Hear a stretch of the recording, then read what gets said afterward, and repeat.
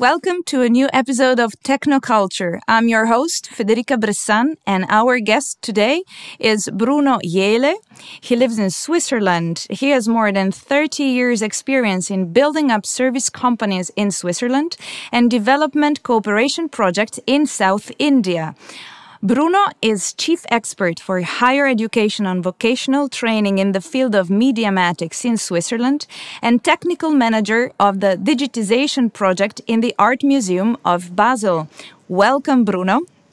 Hello, Federica. I'm very happy to have you on the show because since when I met you a few years ago at a conference in Brussels on digitization and preservation of cultural heritage, um, I have grown fonder and fonder of your activity because not only you're active on so many fronts and internationally, actually intercontinentally, but you always um, keep like attention to people uh, at the core of of what you do, even when it involves um, uh, well technology or um, other fields. I'm especially interested in technology.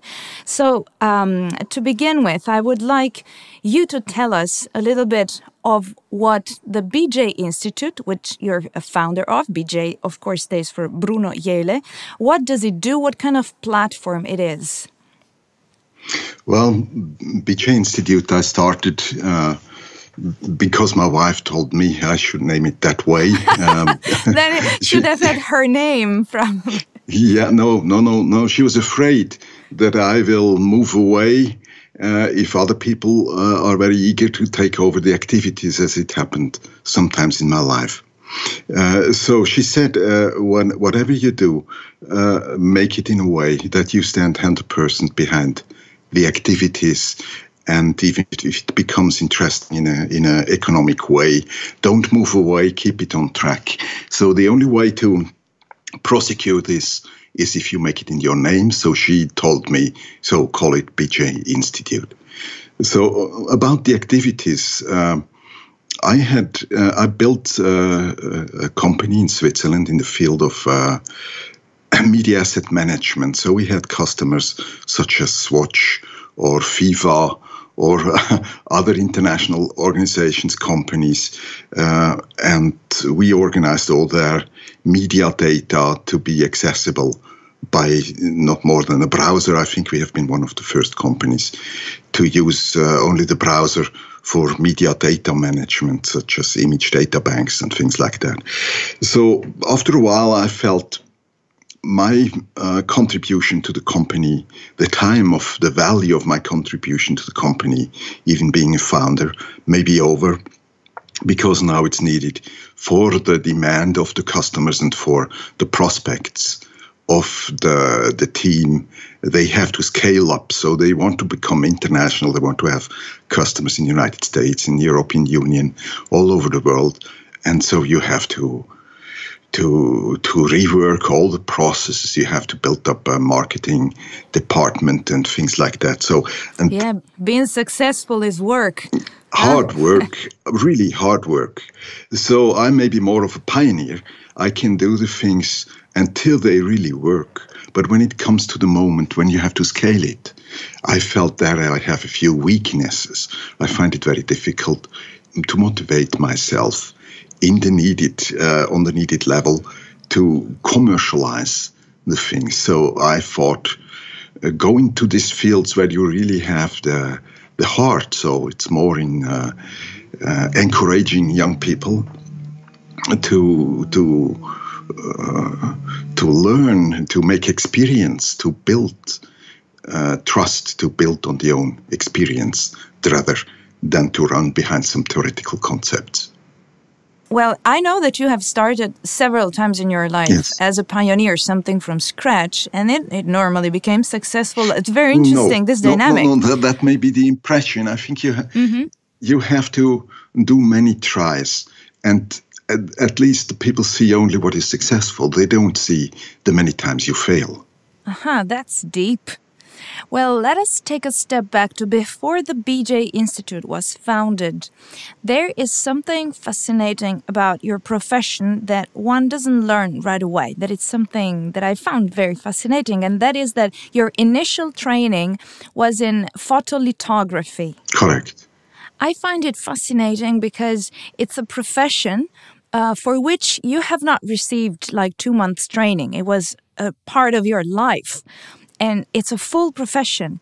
However, one that evolved through the years that was heavily impacted by the advent of digital technologies. Yeah, so the yeah. way one mm, performs that profession is not the same at all today. We know that you have successfully transitioned to, if we want, the digital world. But how has the process been? How has it been for you to receive that kind of training and then see what you knew in desperate need to be updated all the time? Yeah, that's an interesting point indeed. Um, when I was 16, I started in a, uh, an apprentice as a photolithographer in a small um, uh, lithographic company, and they have been specialized in uh, high quality reproduction of old cultural values. For example, uh, paintings in temples in Burma and Thailand, uh, Buddhistic and Hinduistic uh, image uh, images, and reproduction in highest possible quality of historic books. So I had from the very beginning, uh, I was in contact with this type of uh, preservation of values from past culture. So somehow, but I made it to I, it, the profession of lithographers are, equal to typographers. These are very proud uh, people, especially the Swiss lithographers with the cartography, I mean, making maps and things like that. Uh, and they have been very proud and they wanted to earn good money. And they said, the way we can do that is we have to deliver the best quality worldwide, then automatically our work will have a value. And we want to have a share of this value.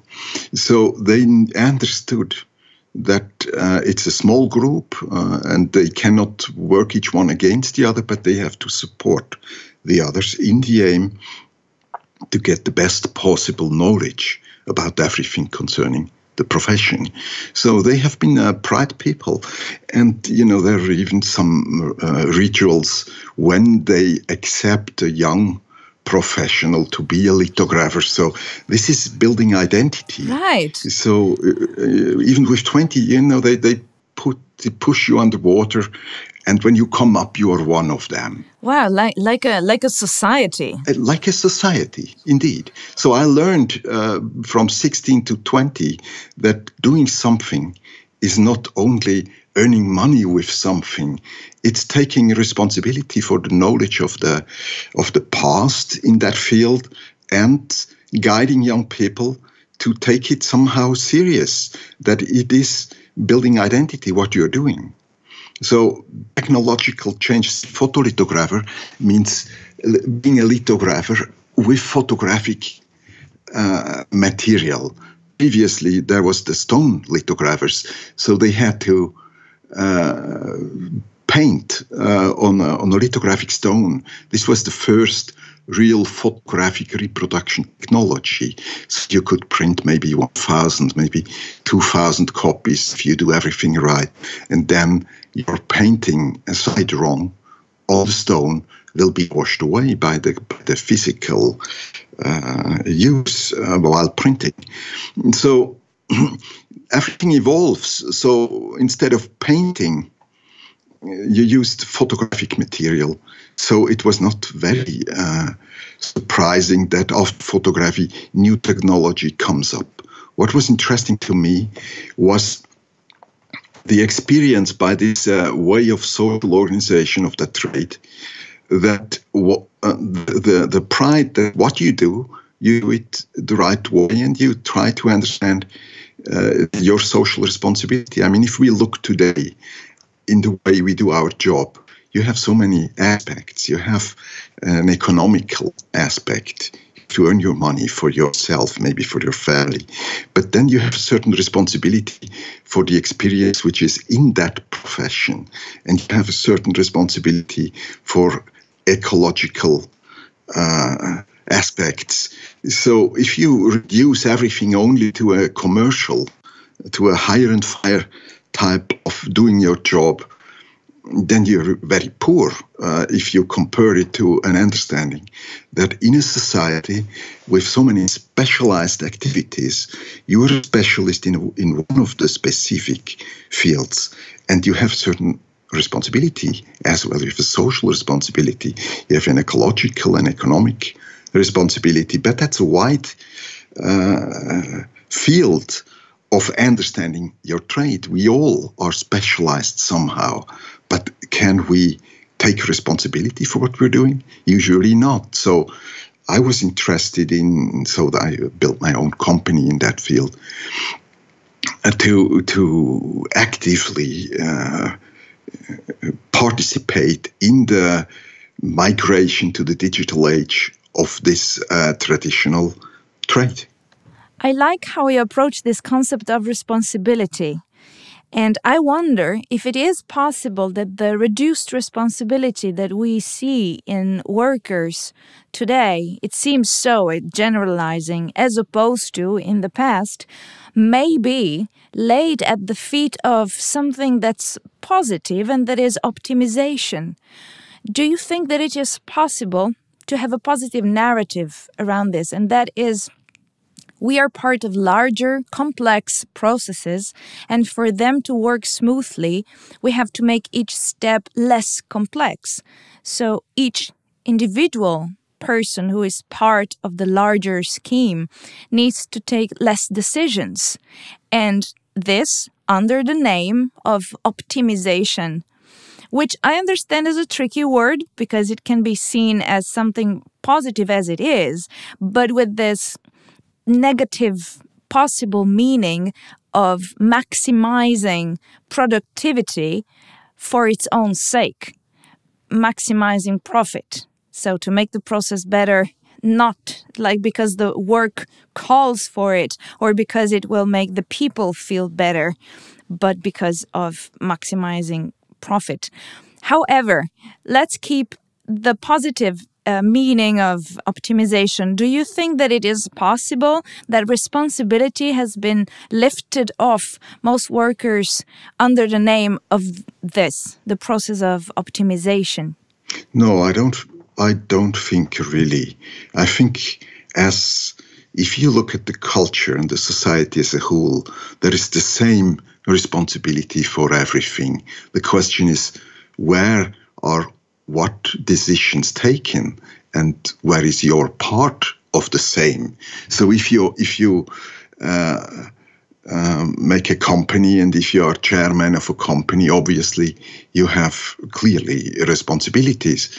But if you are uh, in training and uh, education obviously you have some responsibility. So i think it's a type of illusion that we have less possibilities to in a, in a way to to define the way we understand and we act as professionals in our specific field. I think it's a question of whether we are aware of that and how we use it.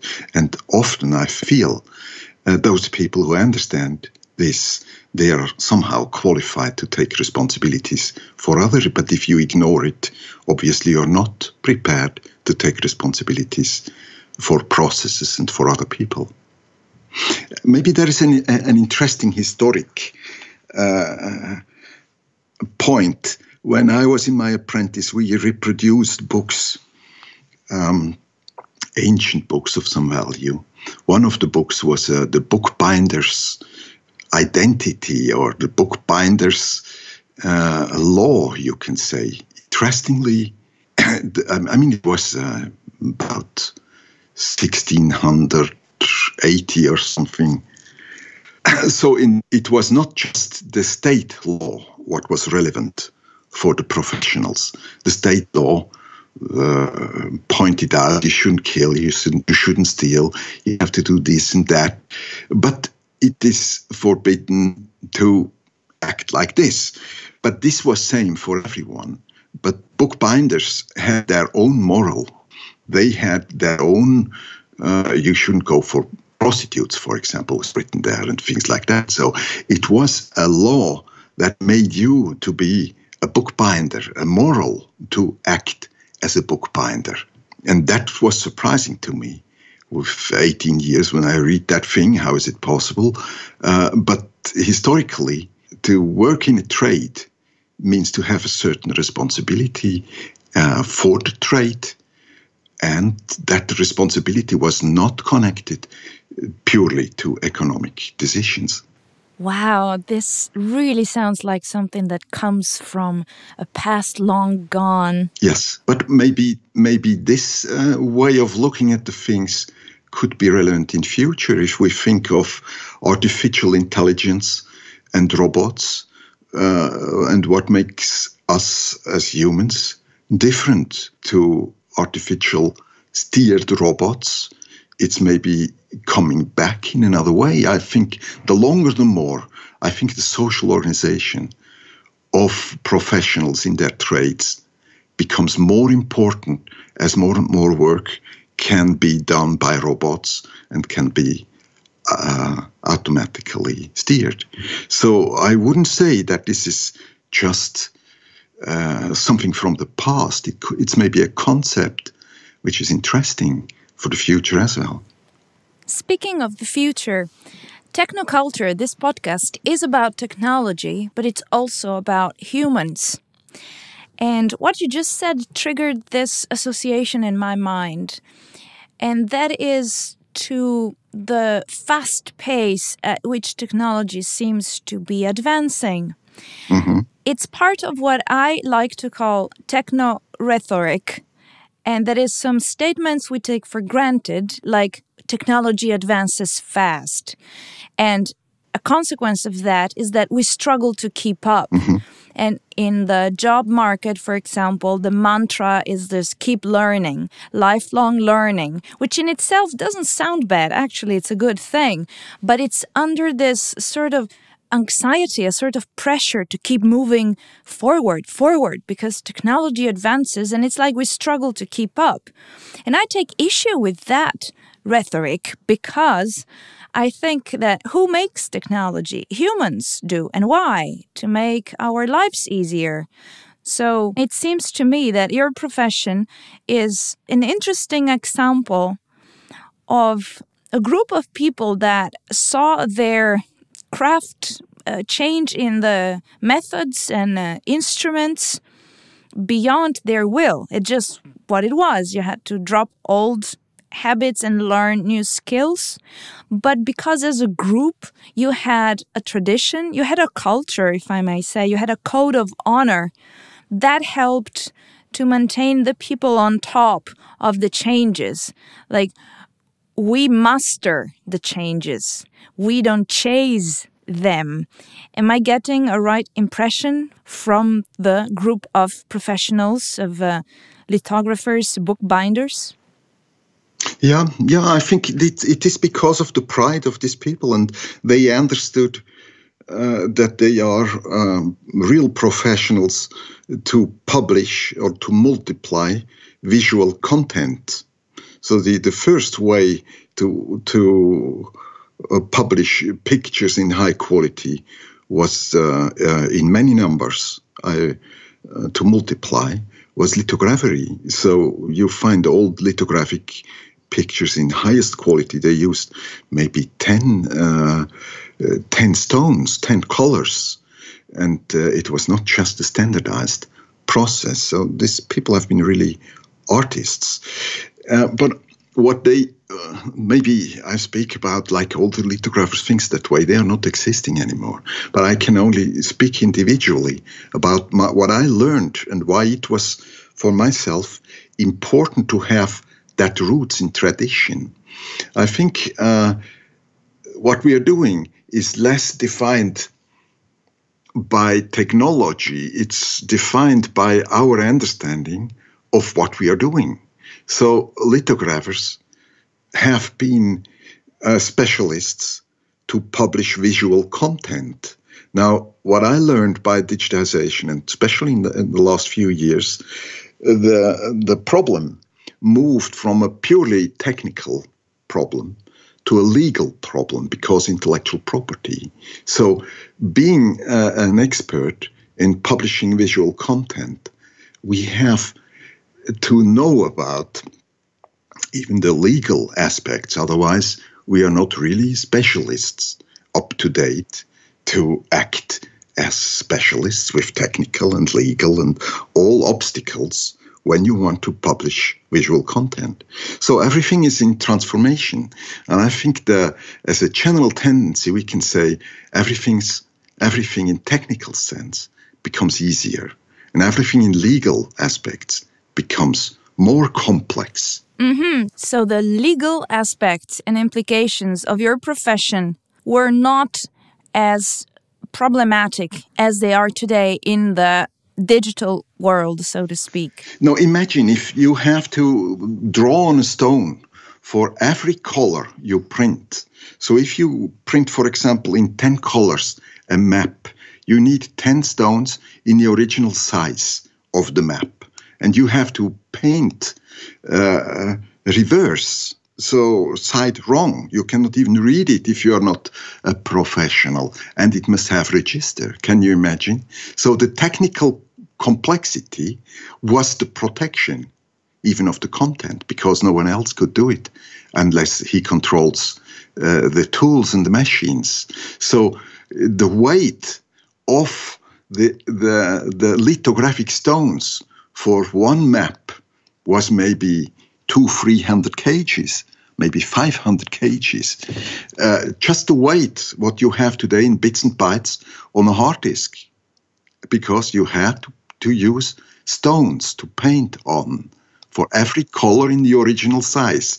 And these stones had to be stable even, even under pressure when you when you put the color on and uh, put the paper in contact to the color on your drawing on the stone. So that was a protection by for the trade, the technical complexity and the skills. Obviously, the skills you need to paint on a stone and to control all the chemical process to bring it to the paper was the protection.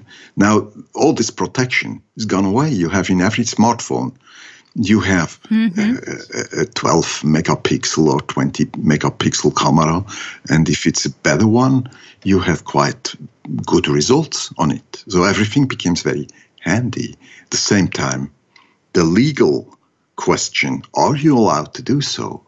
Are you allowed to publish? Are you allowed to take a picture from the same? Are you allowed to publish the same? Becomes uh, more and more complex so, reflecting on these things is how you got involved with copyright issues.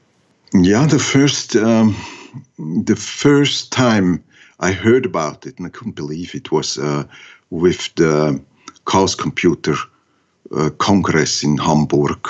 It was mid 90s, and I had the opportunity to hear Wau Holland. Uh, he was able to speak just one and a half hour without break about this issue, mm-hmm. about this topic, and it was very fascinating for me because he could he explained that when in the former uh, uh, communistic uh, DDR uh, they had a First May uh, celebration and they sung the international, the Internationale on the roads. They had to pay uh, royalty to the owner of the intellectual property. So that was amazing for me. Wow. I couldn't believe it, but it is a fact. Uh, excuse me, is intellectual property, IP, the same thing as copyright? Yeah, IP is a little bit more than just the copyright. So, patents, for example, are an issue of uh, intellectual property, while copyright is limited to copy something what is published. Okay, so intellectual property means that I've had an idea and the idea is protected. But I can have an idea and you can copyright it. Yeah, ideas. Mm. On its own, uh, as per my understanding, are not protected. But if there is a technical, a product, if there is a technical aspect of how you transform your idea into a technical solution, for example, it can be a patent. But patent you have to register, and the patent is limited in time, while the copyright is, uh, as per the law, as we have it in Switzerland, Germany, and I think all of Europe, is by the creative content is protected for every person who is creative. I mean, a very strange and idealistic concept. The, the, the only thing is it's not working in reality. That's maybe the disadvantage of that concept.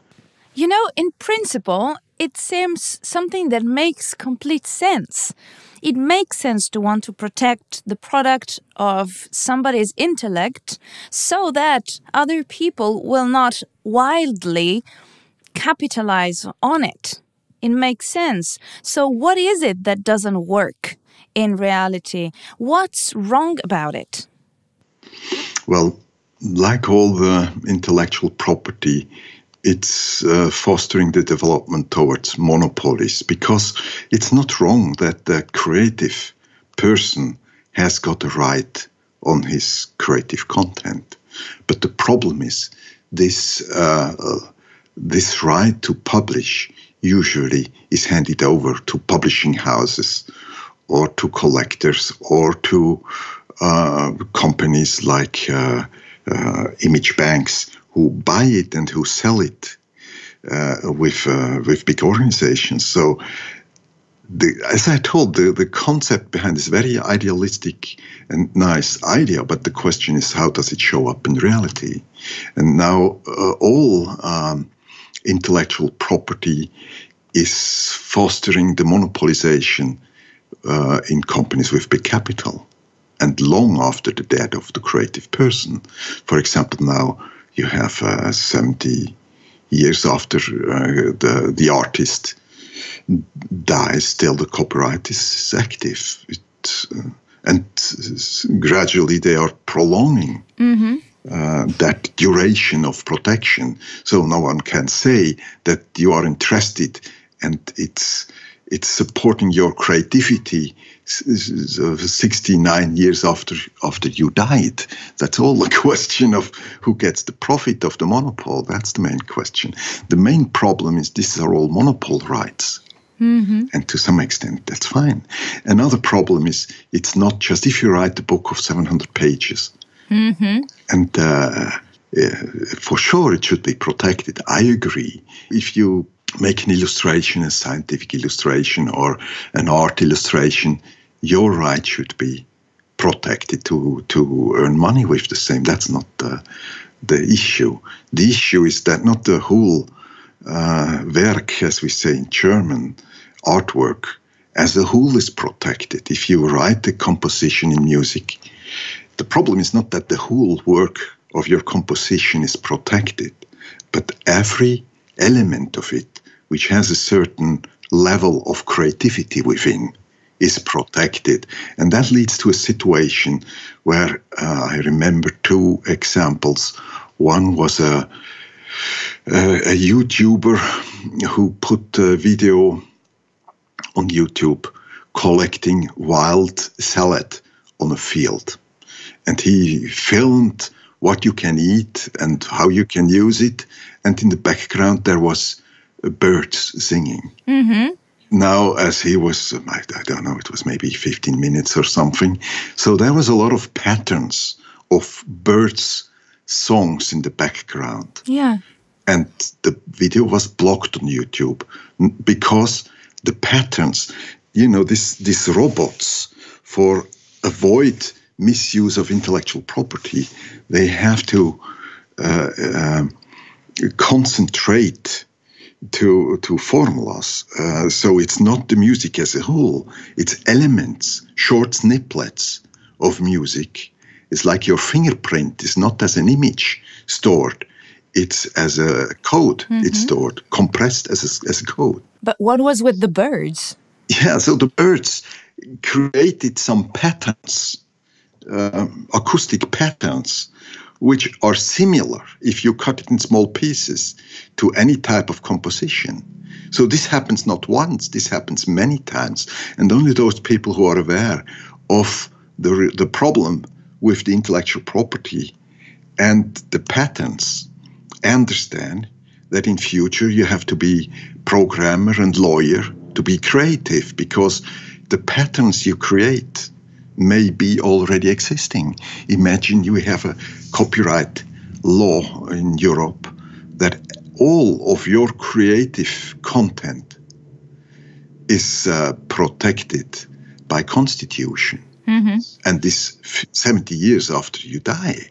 Imagine how much creative content is protected and monopolized. What was made initially to protect mainly the publishing houses and not the, the creative people. I think the whole thing started with the the uh, editor of uh, uh, Shakespeare, because the creative people usually they think, oh, what is there? I can create something new. But the uh, the editors, the publishing houses, they are hundred percent relying on monopole right to capitalize the creative content of artists. So that all evolved in a few hundred years, in two, three hundred years. An interesting aspect is the first copyright was, as per my knowledge, in uh, in England uh, with the uh, publishing house uh, of Shakespeare, mm-hmm. and so they tried, of course, to optimize the income by the monopoly they had. I think for I don't know whether it was 10 years, something like 10 years or five years. And then it should fall into the public property, even the ideas, the concept, the text. In Germany, this concept was not there. So that leads to a situation where in England the books have become very nice piece of artwork with uh, gold patterns uh, on the cover and very nicely uh, done. While in Germany, there was such a competition from the paper making to the book binding to the printing process, even to the sales places for books. So that created uh, a situation that the competition made the German book printing uh, machine builders far more competitive than the British one, and so than the English one. So that's why uh, today with Heidelberger, Emma, and if you look at uh, what is existing in the field of printing, you'll find everywhere German companies as number one, because the competition created a situation where they had to be better. And in Germany, Germany became then the land of the, the writers and the thinkers because everyone had access. Mm-hmm. It was not so much of an economic uh, problem because if you if you uh, work as a kitchen maid, you cannot buy a, a, book with a golden cover, but maybe you have been able to get on very cheap paper without even binding a novel and uh, lend it to someone else and things like that. So it was uh, more prominent in the public and the competition among writers, the competition among machine builders, the, the competition among paper uh, makers became very intense, and obviously the quality of the products improved in this process. So it, the concepts have side effects which are out of focus of those who implement new laws. And I think now in the digital age, we are in a situation where the whole thing becomes more and more complex and side effects mm-hmm. may, may oversteering the wanted effects while implementing. So concepts have side effects. That's interesting. And indeed, I had never thought about it. Did I just hear you say that the introduction of a copyright in England as opposed to in Germany actually slowed down an entire sector of human activity. Is this what you actually just said? It's a big statement. Yes, yes, that's that's proven. That's proven. For example, we can have a look in another field. See the the chemical industry in Basel is maybe world known with all these uh, medicine uh, producers in Basel and the chemical products producers such as uh, Sandoz and Ciba-Geigy historically and uh, Roche and things like that. Uh, so, how it was possible that Basel became a hotspot?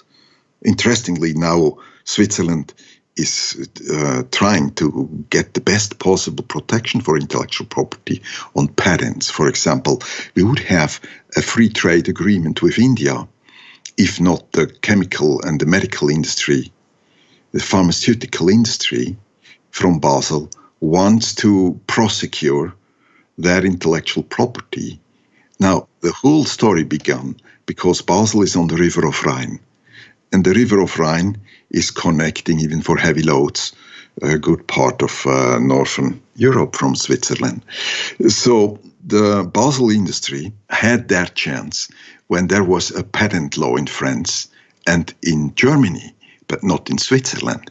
So they copied old protected products and have been able to sell it to French and Germany.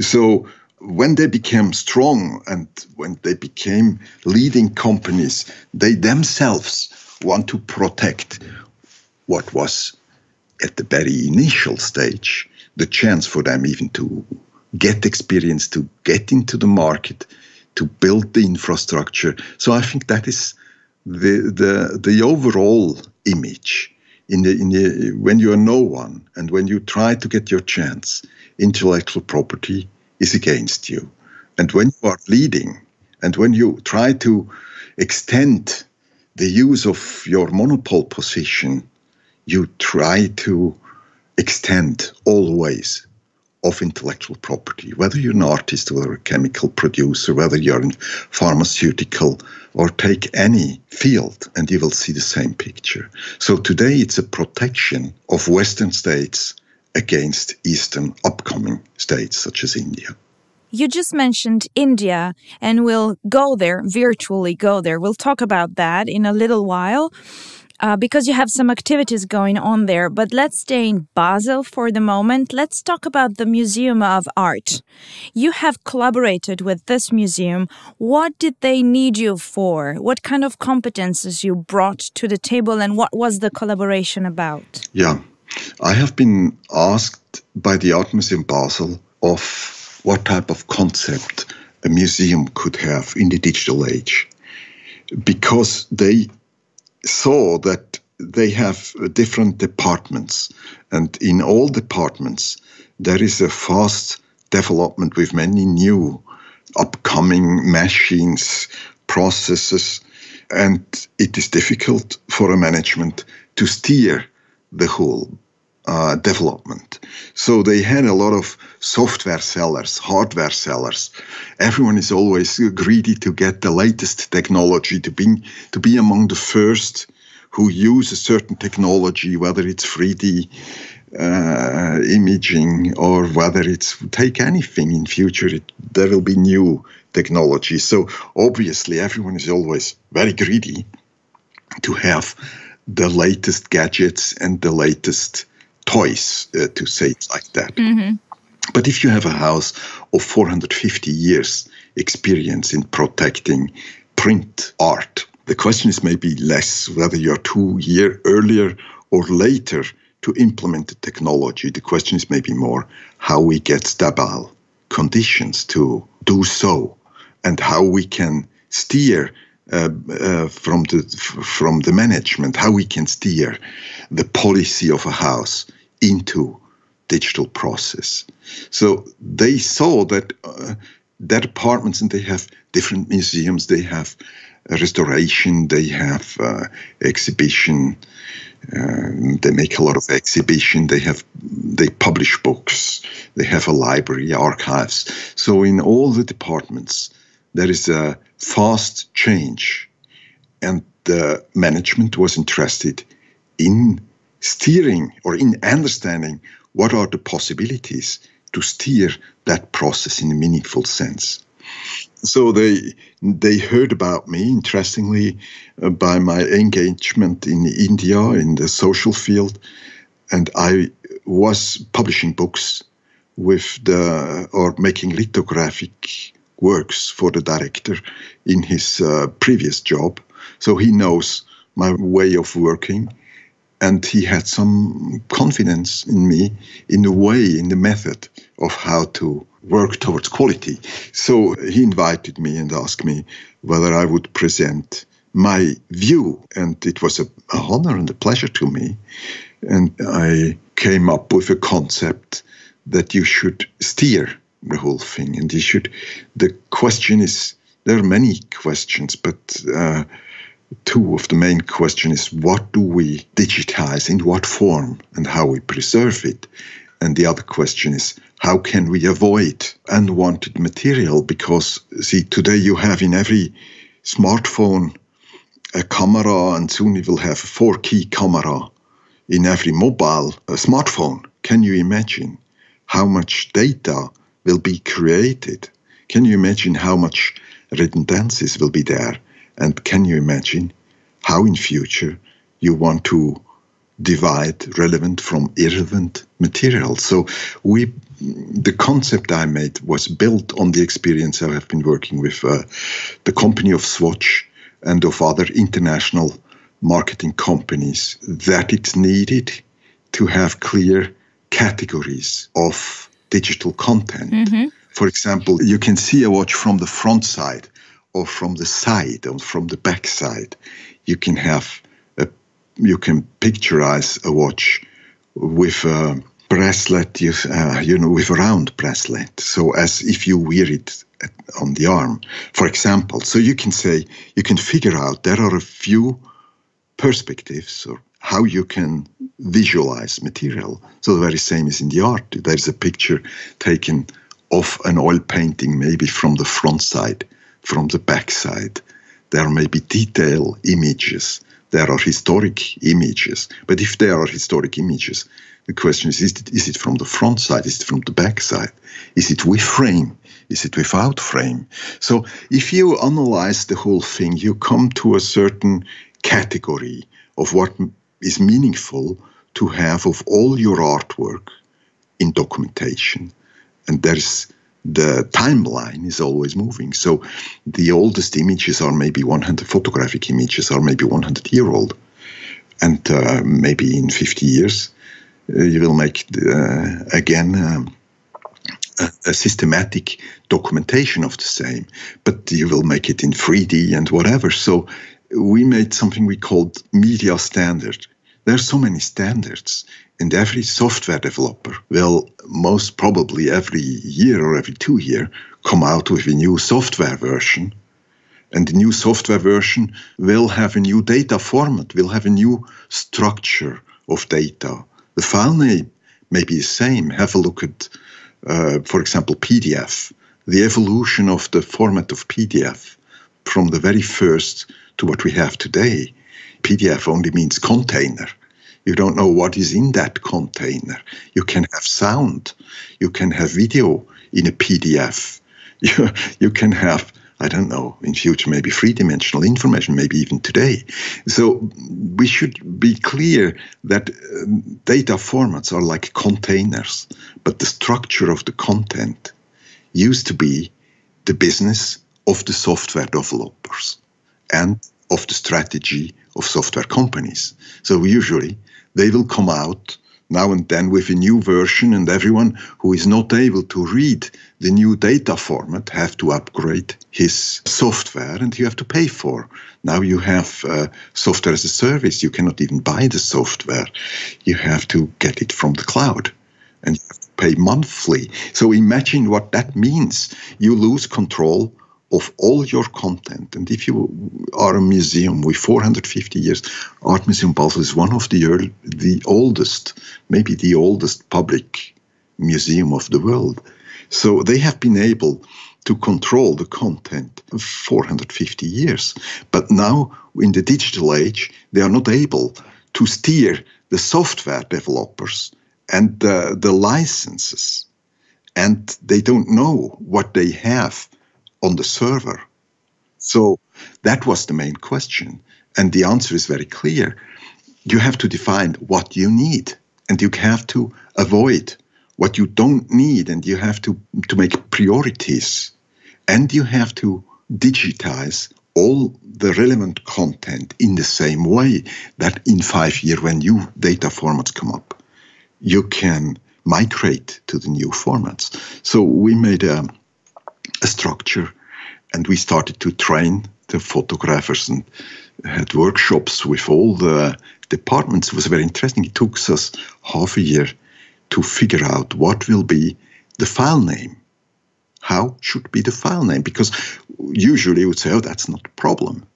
But if you think in a house with more than 400 years experience you will have uh, registration numbers and uh, a lot of different number systems and old houses often uh, they integrate other collections and they have no key to identify a work of art.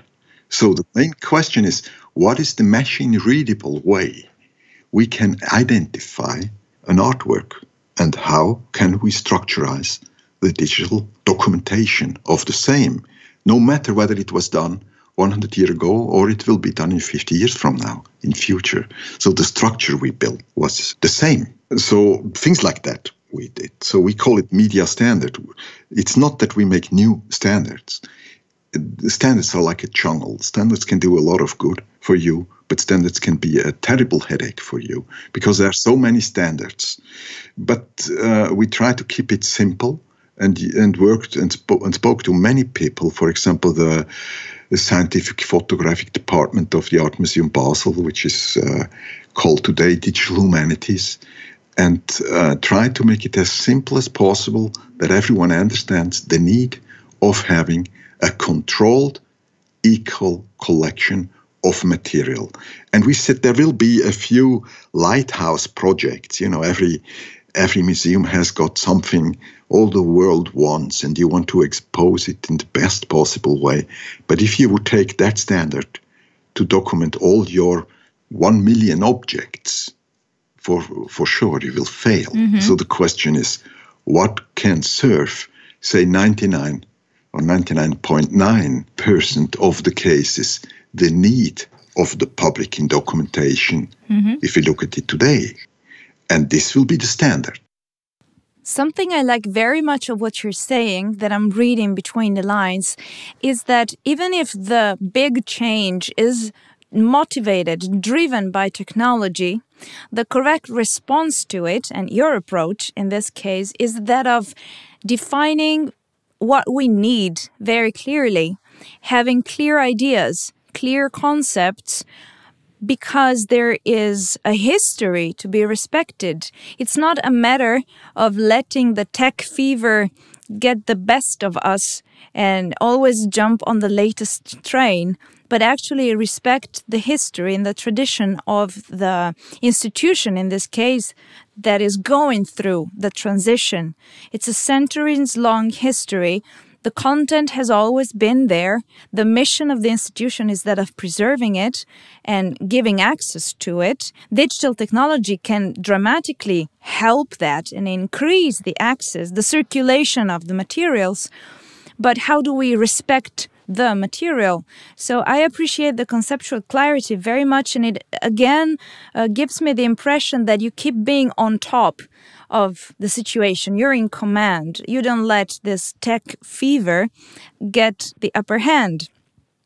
This collaboration, though, did not just stop with uh, like a consultancy, but was concretized with, you mentioned workflows, um, but also a software tool for the management of this digital data.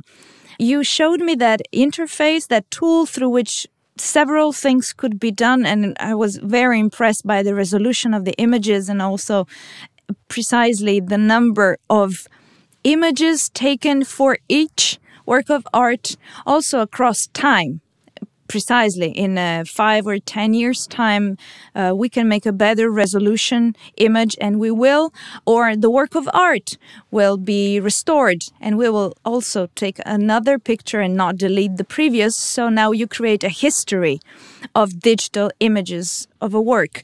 Was that like a back end things for people who work at the museum or our audience could for example go online and and see it it's behind the scenes. It's a it's a tool uh, for managing all the digital content, but it's hidden from the public. But you can see if you go to Art uh, Kunstmuseum Basel or the Art Museum Basel, and you can see the online collection. And I'm very happy that now you can download even in highest resolution uh, the artwork when they are public domain, when the copyright is over. Right. You can have the highest resolution of uh, of the pictures. They don't. They understand it as, as, a service to the public, and I'm very happy about it. I think it's uh, the right concept. Is this something you had to discuss with them? Like, were you on the same page to begin with, or did you have to have a little persuasion oh, yeah. um, to make them open up, so to speak, this high resolution images? Because there is this concept that um, if you deliver digital content online as an archive, as a museum, then people will not come to you anymore. So the content loses value, so to speak. Yeah, that's the fear everyone has. I used to answer like this. See, everyone knows the, the well known Swiss mountain Matterhorn. And uh, now, if the people from Zermatt, which is the town near the Matterhorn, the the, the mountain would be afraid that taking photos of that mountain and spreading that photo, people would say, Oh, we saw the mountain, we don't have to go there. But the opposite is right. They want to have their feelings standing in front of that mountain or standing in front of the painting Mona Lisa or whatever. But that needs at least an awareness of the importance of this type of artwork if we look at the museum. So if you don't make it public, you will lose ground in public space, in, recognition. Others will take your place. So the question is maybe more what are your individual feelings standing in front of something than whether you saw it or not? I mean, we have art books since long does that do you think anyone didn't go to a museum because of an art book? I mean that's simple nonsense sorry to say but it is uh, it's the atmosphere it's the the the now here moment we talked about this exact same concept with Harry Verwayen, who was my guest on episode number nine of this podcast on Europeana Foundation. We said how everybody knows the Mona Lisa, but people keep going to the Louvre to visit it. Of course, because they know it and they, they want to know what is my feeling if, if I stand in front of it. Same with uh, a mountain or same with a landscape. First, you have to know, and then you get curious what will be my experience? What be, what will be my feeling when I'm there? So I think that comes back to something we told in the very beginning.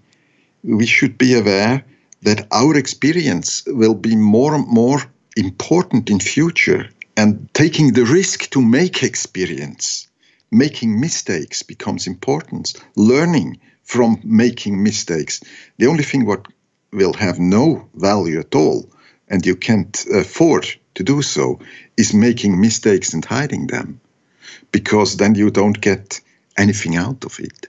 So, whether it's a positive or a negative, it's all about your experience. That is different. That makes us different to artificial intelligence, to robots, the, the sum of our experiences.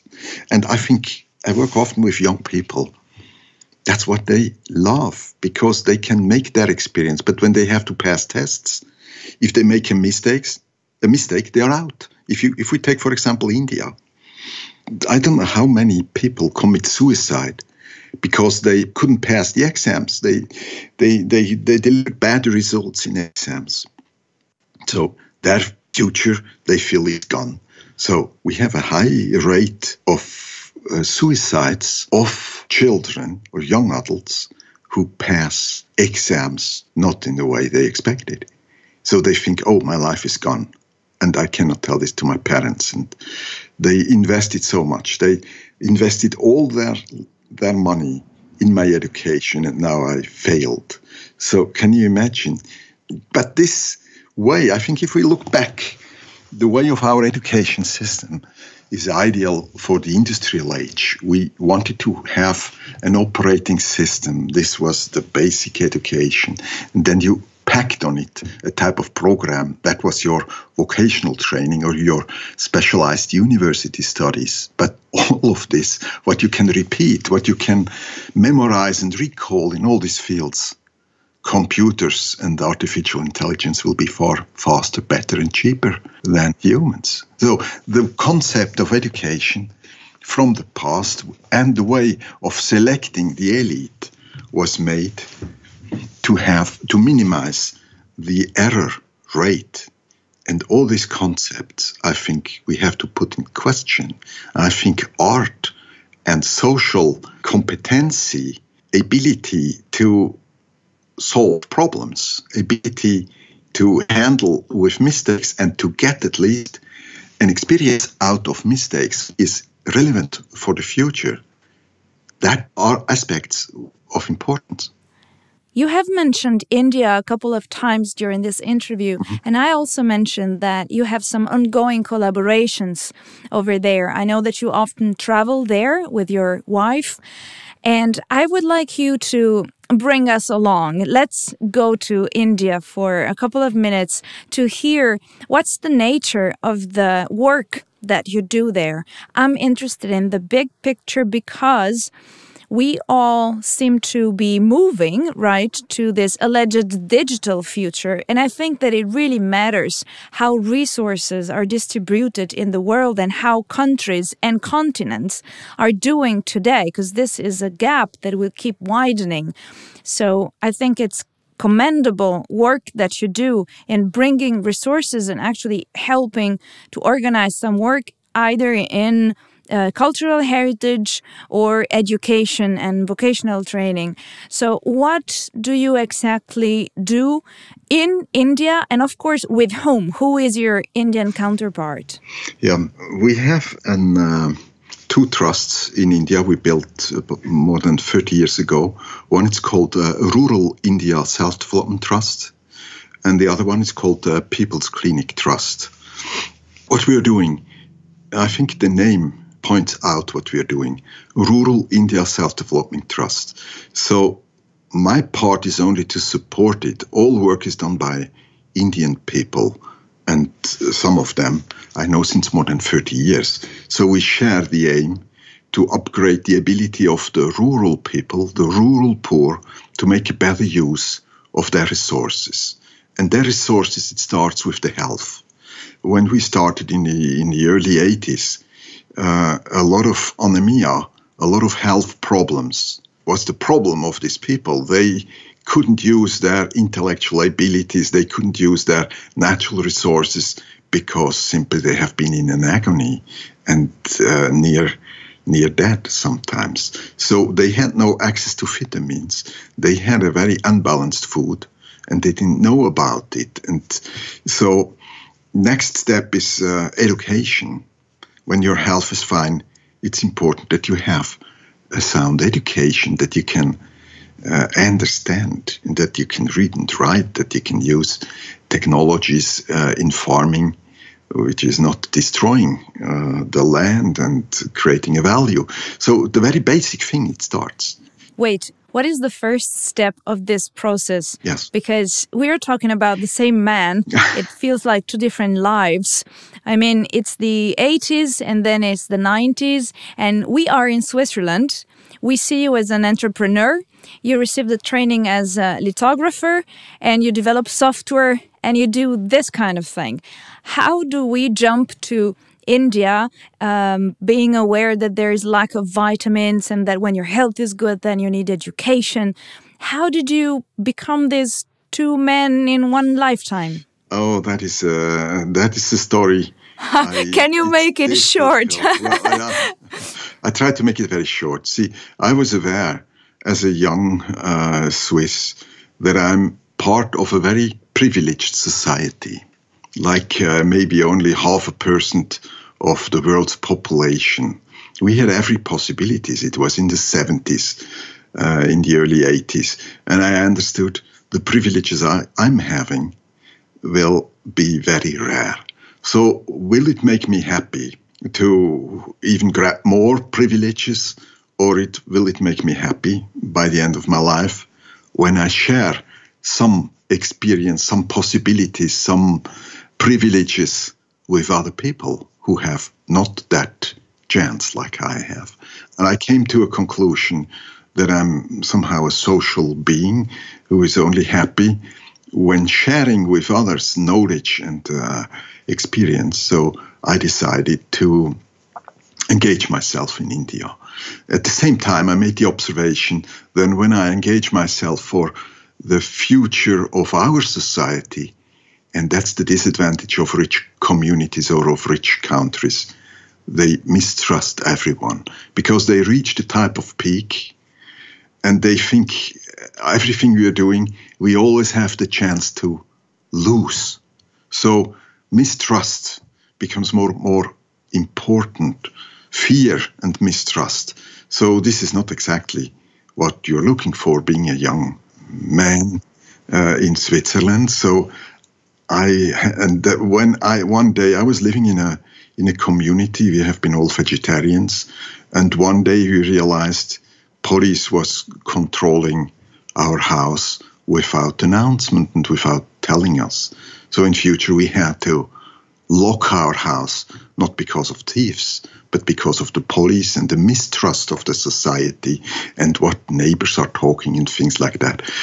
Uh, so that was an important moment when I realized, ah, it seems to be normal. Then when you're rich, you mistrust, and then the possibilities to do something for your own society is very limited because every change will be a risk for your wealth or for your position. So then I, by accident, it will take too long to, to tell the story. I realized that in India it's different. Change means hope, means chance, while here in the wealthy countries, change means risk. So I felt it's rather my way to stand with those people who want to bring a change and have a hope for the same. So I learned about the word nation building. You cannot say nation building in Europe, it's like a bad joke. But in India, in these years, nation building was, uh, was something, was a, a mindset to do something for the good of the public. So I felt I will do my part if my friends in India do their part. And uh, still, they are my friends. We did the same. I did my part, they did their part. And as I'm a Swiss, I don't have to show in India how to work. They know how to work, but they must have the chance to do something meaningful.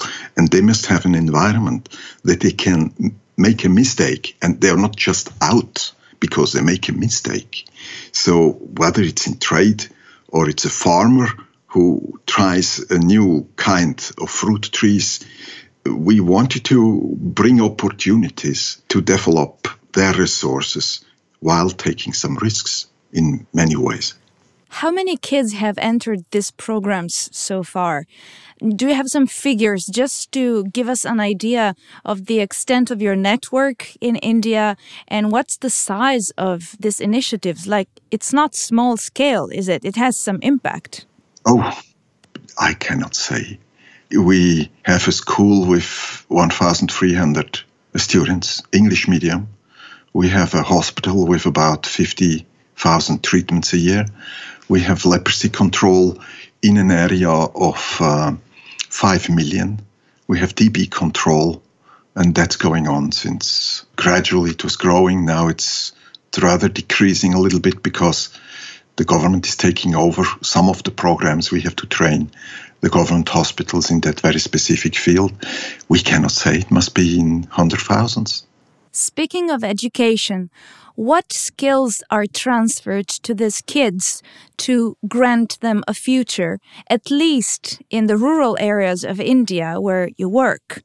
I ask that because, again, the mantra in the Western world is that in order to be employable, you need to have digital skills. Yeah. And coding is I would say in fashion, it's of course useful. I do code myself, but there are more and more courses for women, courses for uh, kids from 14 to 18 years of age in schools.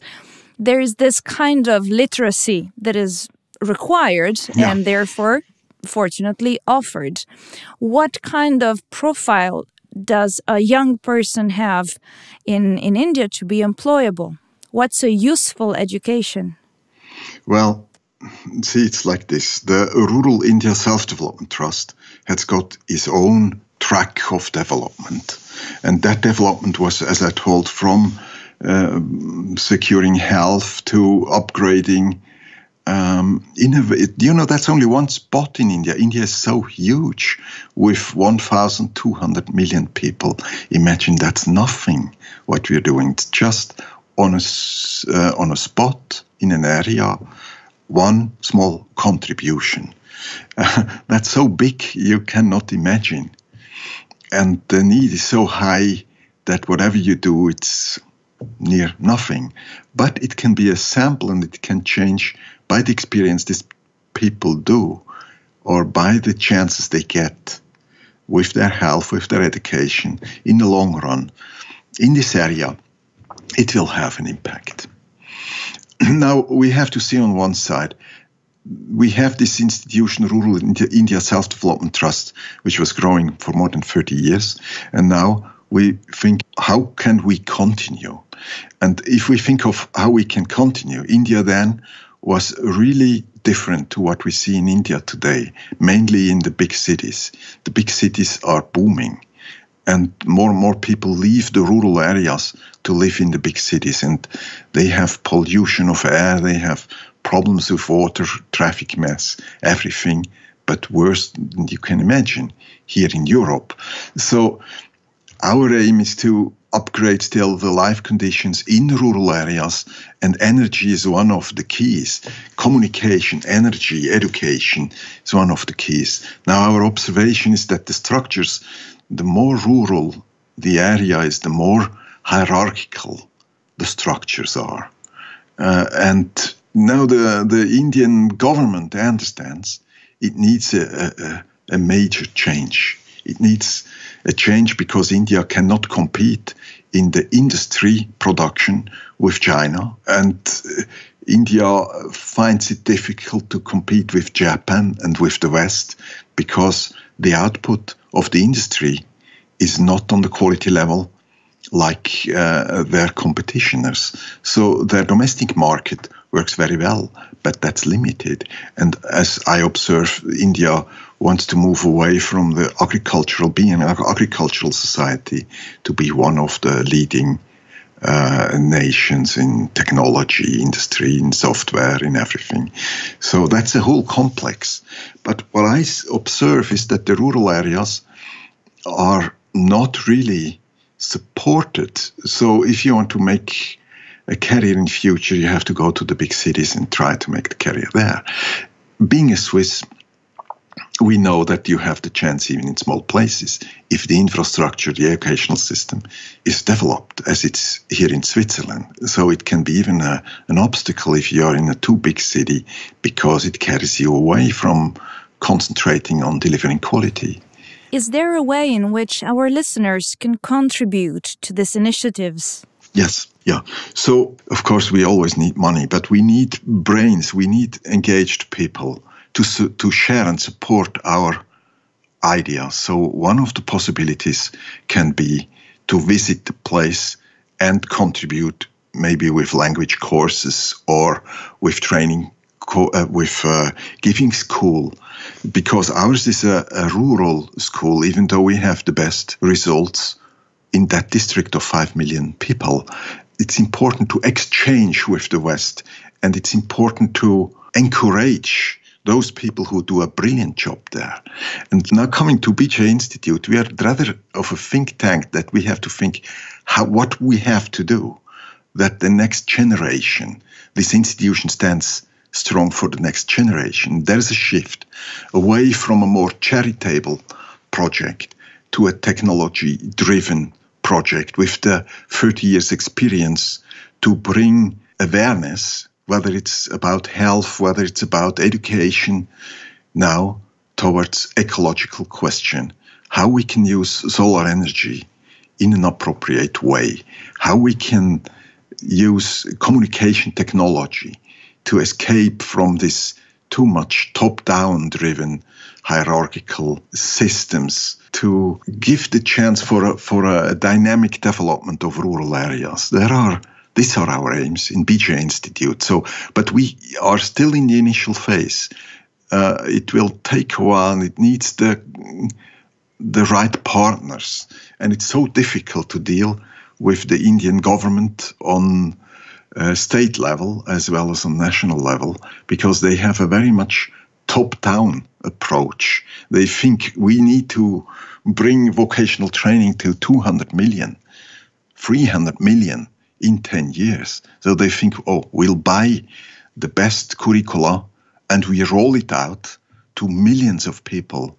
But that's not the way brings the results as per our experience. I think we need to work in far more with a bottom up approach to not by the same way of selecting the most brilliant people with uh, learning by ear and passing multiple choice tests.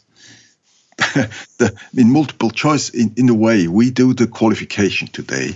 You will get as a result the best reverse engineers who can uh, understand the psychology and the technical needs to organize exams for hundred thousands of people. Those who understand it, those who have a clear look at what, how many points I get by what question and how can I understand what was the intention of the writers of the test.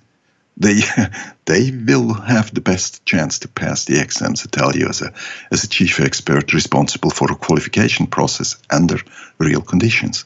So that is uh, in India even more. So we want to encourage people more like sport clubs in competition in uh, developing their own abilities.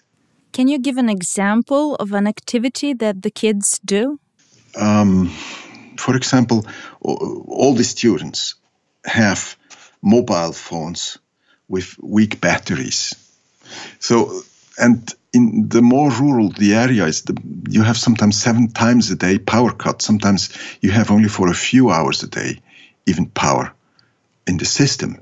So when you make the experience with 15 years that you're not depending on anyone, that you can generate your energy for your mobile uh, phone or for your for your light to read at night or watch TV or whatever, and you are not depending on the electrical company, you're not depending on the school teacher, you're not depending on your parents.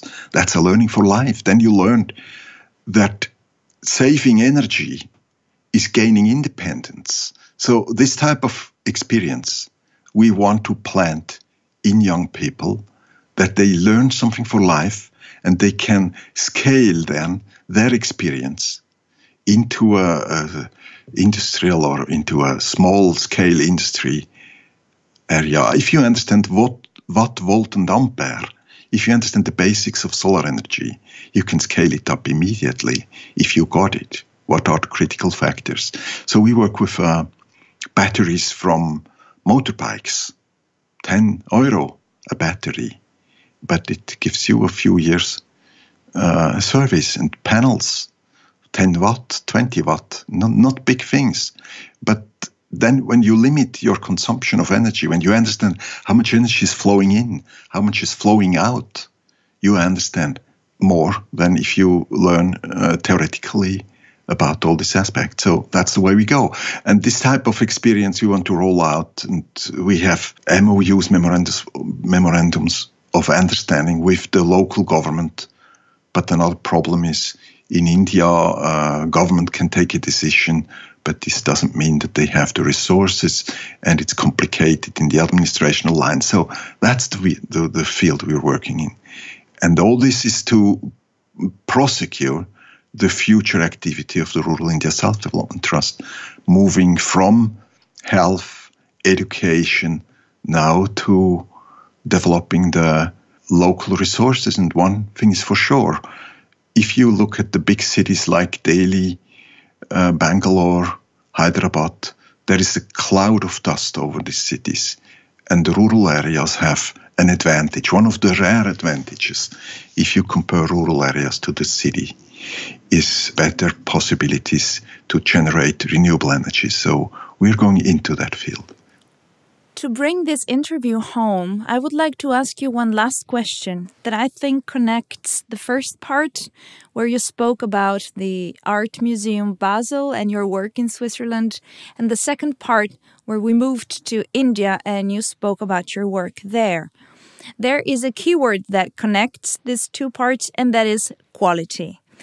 Quality is the keyword that caught my attention when I first heard you speak at that conference in Brussels a few years ago. The way in which you were explaining how you implement your projects made me feel that you were approaching this in a different way, different than the implicit, usual way of the first world. So, digitization requires lots of resources, skills, people, time. So it's expensive. And it's a business too. And it is a good thing that money and also big money sometimes have been put into digitization, including in building large infrastructures. There are some notable examples, and that's a very good thing. But where I'm going with this, and with quality, is that we in the first world, I think, get this misconception sometimes that just because you have a lot of money, you will do a great job. So if that project got a stellar amount of money, then wow, their output will be amazing. And well, that's oftentimes the case for many reasons, but it's not obvious. So just because you have the most expensive scanner, for example, in the work in India you just described, that does not mean that your archival copy, the digital master of the original object that you're digitizing, will be of top quality. You need a methodology, you need some principles, maybe there's philology involved. There are many other factors involved that are precisely, in a way, not technological. It's about understanding the content. And so I'm interested in uh, hearing you elaborate a little bit on this concept of quality as you understand it in the project that you implement in India in an environment that's so different from standard Europe, for example, where then the similar or equivalent cultural heritage materials cannot be taken care the exact same way. So with limited resources, how do you still ensure quality? How do you define it and how do you implement the project? And also, well, what are the factors that play against that? What are the main obstacles of carrying out a digitization project in India as opposed to, for example, Europe? Yeah, uh, maybe by the things I was telling now, you could imagine that I made a lot of experience in different fields. On the one side, here in Switzerland, where investments are not so important because you can expect somehow they will be there. On the other side, in India, where I see that a lot of money is wasted because they try to act the very same way like we do, but we have a very stable climatic situation for machines and equipment, and this is not always given. And then you have people who really believe when they can afford uh, the two hundred thousand dollar scanner and operate the same, then this is quality what comes out. But if you look at it in practice, you will find out that such a scanner immediately will break down because of the dust in the air, because of the the fluctuation of the energy. Then you have to capsule the whole thing. You have to separate it from the power supply. You have to separate it from the dust in the city. And so that comes another uh, $100,000 thing. Uh, the, all the infrastructure, you have to use a diesel generator in case of power cut and things like that. So that ends up everything into big spending. And when the project is over, the people did not really learn something. They because they had been push button type of work. They they organized the material to be captured and pushed the button, and everything else was just engineering from the machine builders. So we understood that the latest uh, generations of uh, digital cameras are so good that about 10 years ago you had to spend 1 million or 20 years ago 1 million dollar to get the same quality. So you have to control the light you have to use good lenses you have to control the environment. But this is not risky and it consum- consumption of energy is very limited because these cameras are made to be mobile. So they are so well covered from dust and if you mm, uh, use them hanging they will not be affected by the typical dust cover. And so I understood with this type of technology, you can digitize from the glass plate of historic photography up to the field work in the archaeological department. Because if you learn factors of quality and if you learn it from the scratch, you will be flexible. While if you spend all your budget, to control technical aspects, the people will be left unemployed when the digitization of your ancient material, historic material, is over. So naturally, my aim is to empower the people, to rather to train them, and rather to give them the opportunity to make their experience mm-hmm. in all ways because they have so many different materials from a coin collection to the documentation of uh, of temple historic temples and uh, so when they understand their tools and the demand they will be employable in future in other fields but when they are just push button specialists they are just depending on the technology they are trained for. So that brought me to the point where I think it's a better investment to train basically and to use uh, long enduring equipment than to go for too high specialized material, which is depending on many other factors such as dust control, power supply, things like that. And uh, the results are amazing because people there then coming back to what we said in the very beginning. The people then are more motivated. They develop their type of pride because they understand what they do. And if you are just a, a push button specialist in a very expensive machine it's a little bit difficult. You can be very proud of pushing the button on a on a uh, on a very costly machine but that's not for long Bruno, I would like to thank you so much for taking the time to be on Technoculture. I thank you for telling us a bit of the many different things you do. I always appreciate this attention for meaning, attention for people that you have. So thank you for telling us a bit about that.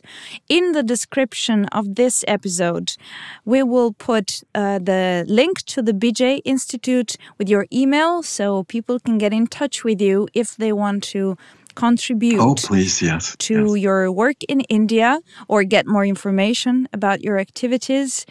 Thank you so much. It was a pleasure. Thank you.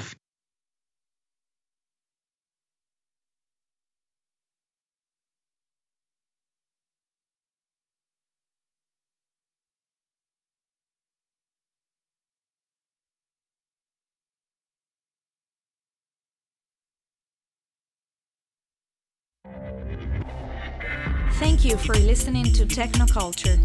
Check out more episodes at technoculture-podcast.com or visit our Facebook page at Technoculture Podcast and our Twitter account, hashtag Technoculture Podcast.